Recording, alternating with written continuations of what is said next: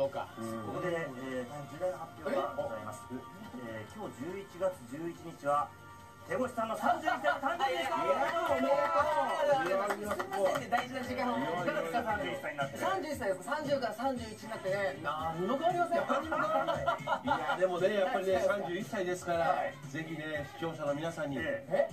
やっぱり抱負をね抱負？やっぱり顔顔で表現してください。顔で表現？顔ですね。31歳です。31歳に。うん。うわ